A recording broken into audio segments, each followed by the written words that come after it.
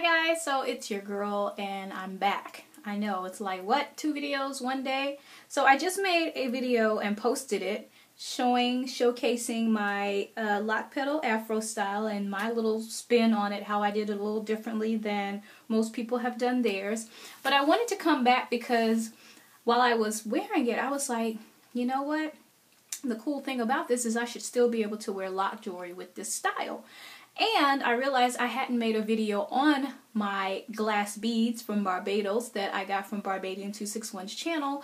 So I said this would be a perfect chance to showcase my beads and um, yeah, so here I am making this video. So first of all, let me give a quick shout out to um, I guess I can say the YouTuber formerly known as J Renee C, now known as Trini BK Babe. I recently won a um, contest that she had um, on her channel where she was asking for feedback for her blog, um, which is I think Trini BK Babe at Blogspot.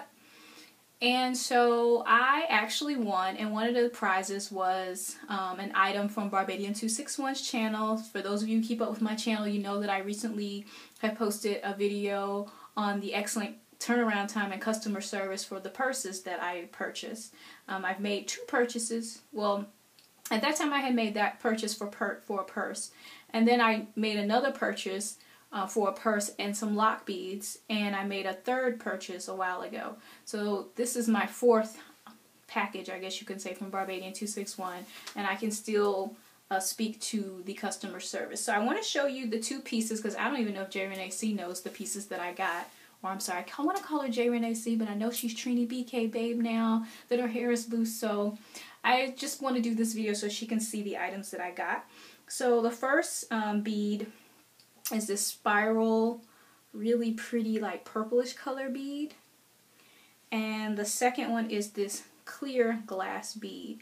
And like I was saying, because my hair was so easy, the style was so easy to do, it's easy for me to take down a lock real quick to put some loc jewelry on. So I'm going to take this one down, slide on this cool purple one, and re-secure it. And there. I can rock, still rock my loc jewelry in this. So if you are doing the lock pedal afro style and you have some loc jewelry that you like to wear, you can rock your loc jewelry in your afro. So just a point to make. Um, in addition to the two pieces that I won in the contest, um, I made some purchases myself. For those of you who aren't aware of Barbaydian 261's uh, store online, which is barbaydian261.com, um, you really need to check it out. I think she still has some glass beads left. A while ago, she had gone to Barbados and discovered this um, gentleman who makes glass glass loc beads, not just you know your regular wire or uh, clay or metal, but out of blown hand blown glass.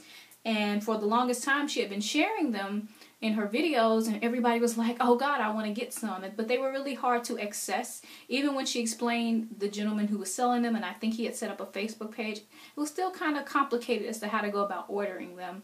So she actually ordered up a bunch and made them accessible. And quite a few people have benefited. I know uh, Foreign uh, 78 made a video about her loc beads. And I think a couple other people have as well. So now I'm going to quickly go through the ones that I have ordered on my own.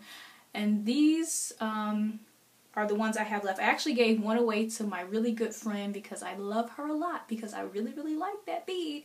But I love her so much and I knew she would love it. And she has locks. And so this is minus that one. But I'll share the ones I do have. So uh, this is one of the first ones I'll show you. It's this really pretty spiral. It's kind of like a teal and a like a light blue or gray. So that's that one. Next I have, oh, I love this one. This is so cute. It's a heart, you guys. And it has like a swirl. It's like red with, it's clear and it also has like a kind of a creamy beige color swirling through it. Be cute on Valentine's Day to rock this out or any day. Um, I also have another heart. This one is spiraled um, red, black, and yellow. The uh, loop for your lock is in the back, and that's how that one looks. Um, I also have um, another heart from uh, and this these came from there were some that she had that were like from the Caribbean islands collection so I of course I had to represent one of my favorite vacation spots in beads so that when I go there I can you know represent so of course Jamaica um, this is a heart it's of course green yellow and black it also has the loop on the back and I also got this one representing Jamaica. It's shaped kind of like a leaf or something. It's really cute. And it can just kind of hang. Um, also representing another island that I've yet to travel to, but I hope to travel to, but I have grown to really love the culture of Trinidad and Tobago. So I bought this representing TNT, red, black, and white.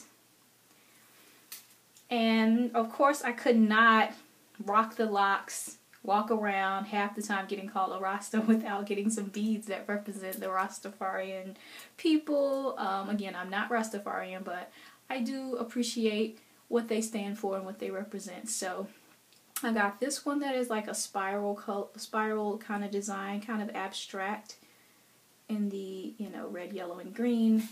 And also this like tubular bead that's also in the red, yellow, and green. And the one that I gave away to my friend was also red, yellow, and green. Um, and I really liked it. It was a heart, but you know, it's my friend and I love her. Um, next, I also got this dolphin. He's so cute. And I don't know if he was supposed to represent some island co island colors. I don't think so though. I think this was just from like the animal. I think she had some shaped like ducks, some shaped like flowers, some shaped like dolphins, some shaped like other various critters. So I got this dolphin, and of course your lock will loop through his fin. And the last one I got is another sea animal that is my favorite sea animal, I guess if I had to choose one.